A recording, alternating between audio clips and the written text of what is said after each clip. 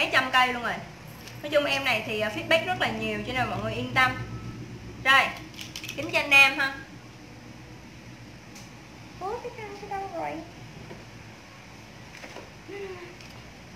Đây, bây giờ qua phong kính này cho nam đi, nãy giờ đi cho nữ hơi nhiều ha.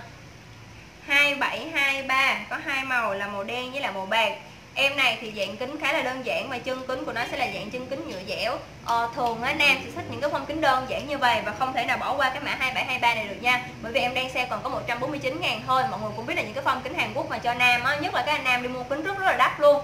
Ờ, tầm 7 800 ngàn trở lên trong khi bây giờ cũng là cái chất liệu đó cũng là thương hiệu đấy mà bây giờ mình đang mua với giá sale. 2723 màu sắc cùng số điện thoại cho em ha hai màu xám với lại đen thôi. Đây.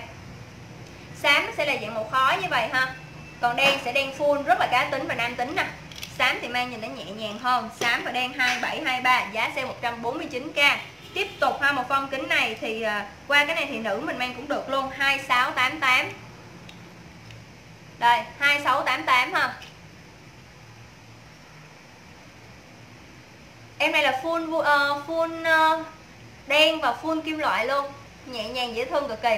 À, những cái phong cái này mọi người xem phim Hàn Quốc thấy các bạn mang rất là nhiều bởi vì ở bên đấy họ chú trọng những cái uh, kiểu đơn giản nhưng mà mang lại hiệu ứng cho gương mặt của mình tốt hơn. Cho nên là nếu như mà mọi người bỏ qua thì rất là hối tiếc đó nha. Rồi thời lượng livestream của mình là sắp hết rồi đấy. Cho nên là tầm khoảng hơn uh, hơn 15 phút nữa thôi. Còn ai chưa chọn được kính comment lên em tư vấn kính cho mình nào. Hiện tại thì em còn ở đây uh, còn vài mẫu nữa thôi đấy nào còn ai mặt nhỏ mặt vuông mặt tam giác hay sao thì comment lên để em tư vấn cho mình thêm nha. Rồi ông uh, bây giờ thì ông uh, chọn tiếp cho mình một cái em kính.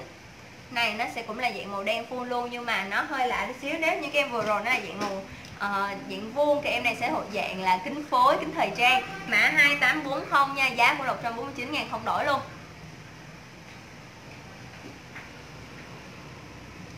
840 nha cả nhà nha.